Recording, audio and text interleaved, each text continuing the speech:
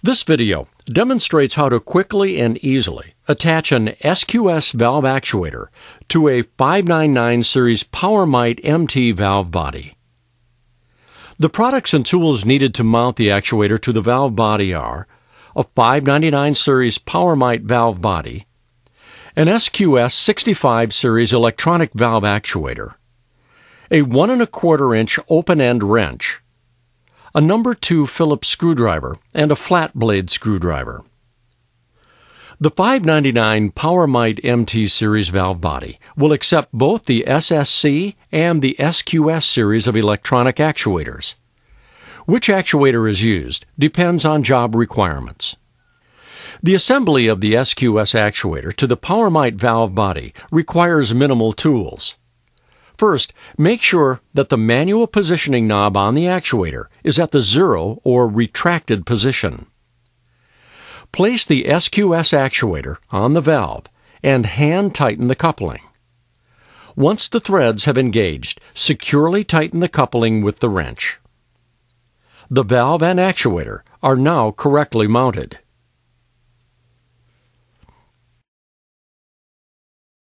For the SQS actuator, the manual override allows us to manually open or close the valve as needed when power or a control signal is not present. By turning the manual positioning knob, we can position the actuator to any position between 0 and 1. The actuator will hold its manual set position until a control signal is received. A control signal takes priority over any set manual position. Since valve bodies can be normally open or normally closed, it is important to remember that the zero position takes the valve to its normal position.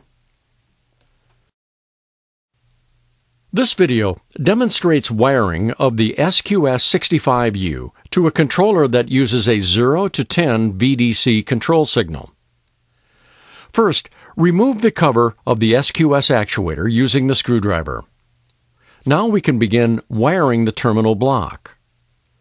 There are multiple connections on the terminal block. These are determined by the system application. In this demonstration, we will be using a 0 to 10 VDC control signal with output for remote position indication. For a 0 to 10 VDC control signal, we will need to terminate four wires to the terminal block. Connect G to the 24 volt AC hot terminal. Connect G0 to the 24 volt AC neutral terminal. Connect Y to the 0 to 10 VDC control terminal.